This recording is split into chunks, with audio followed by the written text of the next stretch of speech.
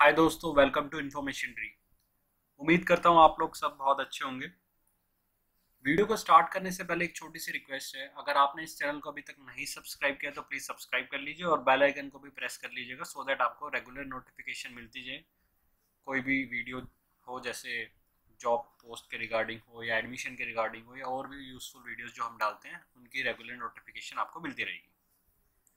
तो सीधा वीडियो को स्टार्ट करते हैं। आज हम इस वीडियो में बात करने वाले हैं महाराष्ट्र पोस्टल सर्कल की, जिसमें वैकेंसीज निकली हुई हैं।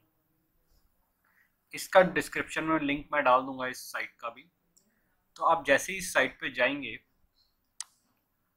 आपको यहाँ पर नोटिफिकेशन का ये लिंक दिखेगा। आप इस पर क्लिक करेंगे तो आपको ये पीडीएफ ओपन हो जाएगी, जिसमें लिखा होगा कि कौन कौन सी पोस्ट निकली हैं। तो पोस्ट जो निकली हैं वो है हमारी पोस्टमैन मेल कार्ड और मल्टीटास्किंग स्टाफ की पोस्ट निकली है, ठीक है? अब देख लेते हैं इनकी क्या सैलरी रहने वाली है। तो जो पोस्टमैन और मेल गार्ड की वो लेवल थ्री की सैलरी होगी और मल्टीटास्किंग की लेवल वन की सैलरी होगी। ये लेवल थ्री वाली ट्वेंटी वन सेवन हंड्रेड से सिक्सटी नाइन हंड्रेड होगी और लेवल वन वाली eighteen thousand to fifty six nine hundred ठीक है? ये इसका सैलरी ब्रैकेट होगा। आप देख लेते हैं कि भाई इसमें वैकेंसीज कितनी निकली हैं। तो वैकेंसीज जो है पोस्टमैन की टोटल हम चल रही अलग अलग डिवीज़न के अकॉर्डिंग है। तो हम टोटल पोस्ट बताएँगे। वो है one zero two nine total post है, ठीक है? ये पोस्टमैन की है। जो मेल गार्ड की है, वो है फिफ्टीन पोस्ट और जो मल्टीटास्किंग स्टाफ की है, वो है थर्टी टू तो ये नंबर ऑफ़ वैकेंसीज पता चल गई, ठीक है? अब देख लेते हैं कि भाई फॉर्म की फ़ीस कितनी है। ये और भी इसमें डिटेल्स हैं इस पीडीएफ में कि क्या क्या अगर डिसेबिलिटी है तो वो कौन कौन सी आप एलिजिबल हैं। तो ये सारी इसमें इंफॉर्मेशन दी हुई है। ये डिटेलिंग में मैं नहीं बता रहा, मैं ओवरव्यू दे रहा हूँ।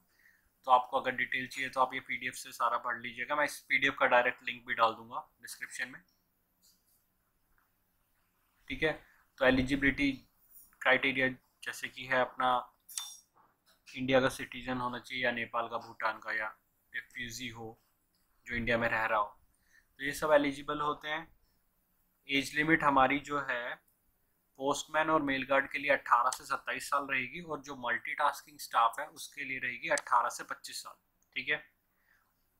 ये अनरिजर्व कैटेगरी के लिए होती है एज लिमिट बाकी जो रिजर्वेशन होगा वो एज पर दी नॉर्म्स होता ही है। एस सी के लिए फाइव ईयर्स का रिलैक्सेशन ओबीसी के लिए three years P W D unreserved के लिए ten years P W D S C S T fifteen और O B C P W D तेरह साल का रिलैक्सेशन होगा, ठीक है? ये बहुत सबके लिए सेम है। बाकी इसमें ये भी है, अगर सेंट्रल गवर्नमेंट का एम्प्लॉई है तो उसकी क्या अप टू वो forty five years of age eligible है और एमटीएस के लिए फोर्टी ईयर्स तक?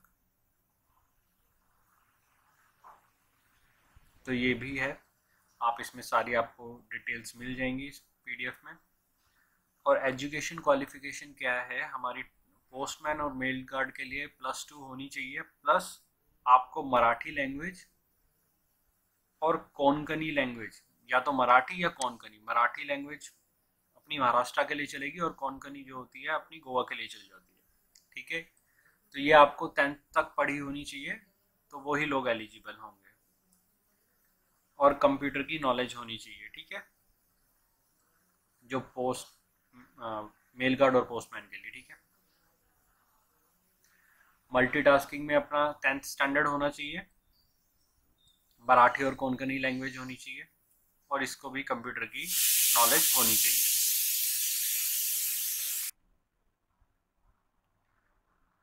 ठीक है तो अब देख लेते हैं एग्ज़ाम एलिजिबिलिटी हमें पता चल गई अब हम देख लेते हैं एग्ज़ाम पैटर्न क्या रहने वाला है। एग्ज़ाम पैटर्न जो है अपना ऑनलाइन टेस्ट होगा। पेपर वन पेपर टू और थ्री पार्ट्स में होगा तो पेपर वन अप, अपना computer based multi choice question होंगे। जो पेपर टू होगा वो भी मल्टी चॉइस क्वेश्चन होंगे बट वो लैंग्वेज बेस्ड क्वेश्चन होंगे जैसे मराठी और कोंकण के ऊपर। लोकल लैंग्वेज और जो पेपर थ्री है, वो डेटा एंट्री स्किल टेस्ट होगा, ठीक है? सारे कंप्यूटर बेस्ड टेस्ट होंगे। जो पेपर टू होगा, उसमें डिस्क्रिप्टिव क्वेश्चंस भी होंगे और एमसीक्यू भी होंगे। जो पेपर वन है, उसमें सिर्फ़ एम होंगे। ठीक है? कितने मार्क्स का पेपर होने वाला वाला है? होने वाला है पेपर वन सौ का होगा पेपर टू सिक्सटी का और स्किल टेस्ट फोर्टी का। पेपर वन में सौ क्वेश्चन आएँगे पेपर टू में तीस क्वेश्चन मल्टी चॉइस क्वेश्चन होंगे और दो क्वेश्चन डिस्क्रिप्टिव होंगे जो पंद्रह पंद्रह मार्क्स के होंगे। और ये फोर्टी मार्क्स का स्किल टेस्ट होगा पूरा।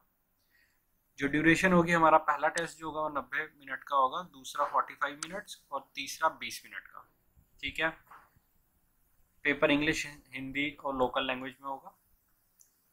और minimum qualifying marks as per दी नॉर्म्स अंडर ग्रेजुएट के लिए फोर्टी अंडर अनरिजर्व के लिए सॉरी अनरिजर्व के लिए forty percent S C S T के लिए thirty three percent O B C thirty seven तो ऐसे ही होगा।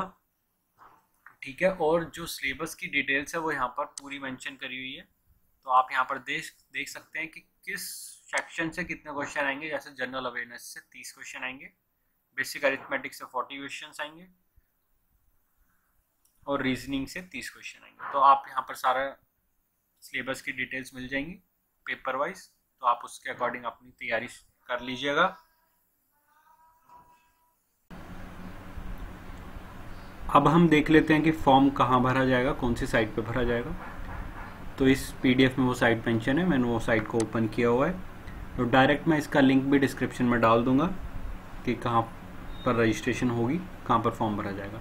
तो यहाँ पर ये लिखा है कि 12 तारीख से रजिस्ट्रेशन स्टार्ट हो गई है 12 अक्टूबर से।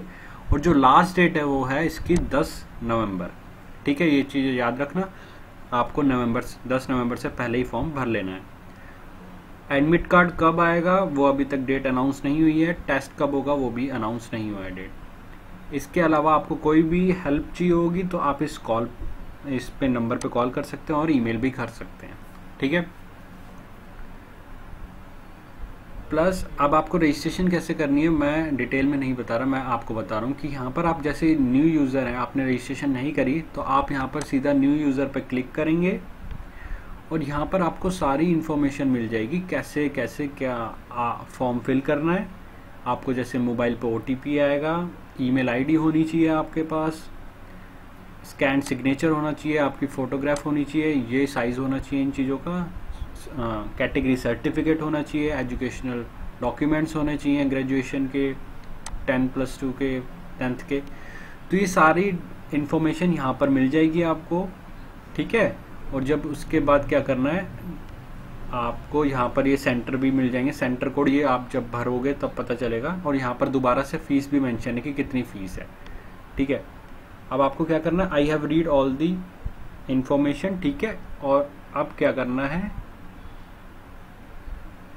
एक मिनट, यहाँ पर कंटिन्यू पे ये है कंटिन्यू का निशान, इस कंटिन्यू पे क्लिक करना है लिंक पे। जैसे ही आप कंटिन्यू पे क्लिक करेंगे, ये आपके दूसरा पोर्टल आ जाएगा, जहाँ पर आपको डिटेल्स फिल करनी है, जैसे कि आपका नाम क्या है, क्या जेंडर है। तो ये सब डिटेल्स आपको फिल करनी है और रजिस्ट्रेशन करनी है, ठीक है?